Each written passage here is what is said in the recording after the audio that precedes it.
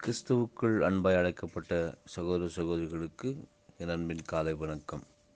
பரலோக மன்னா டிசம்பர் இருபத்தி ஏழு பிள்ளைகளே நீங்கள் விக்கிரகங்களுக்கு விலகி உங்களை காத்துக்கொள்வீர்களாக.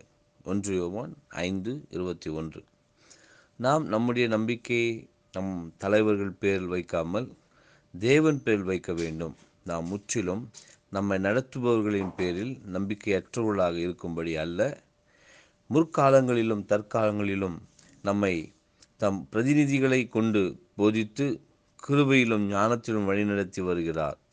இங்கே நமக்கு கொடுக்கப்படும் பாடம் யாதெனில் எல்லாவற்றுக்கும் மேலாக சகலத்தையும் செய்து முடிக்கும் சர்வ வளமுள்ள அவர் பேரில் நமது பூர்ண நம்பிக்கை இருக்க வேண்டும். மேலும் மற்றவர்கள் மூலமாக நாம் அவர் வழிநடத்துதலை எதிர்பார்க்க வேண்டியதாக இருந்தாலும் நம்முடைய நம்பிக்கை மனித ஞானத்திலும் பலத்திலும் இல்லாமல் தேவ ஞானத்திலும் பலத்திலும் இருந்து அவர் மூலமாய் சகலமும் நடத்தப்பட ஒப்பு கொடுக்க வேண்டும். சங்கீதம் நூற்றி பதினெட்டு நான்கிருந்து ஒன்பது. என்பதே. ஆமேன்.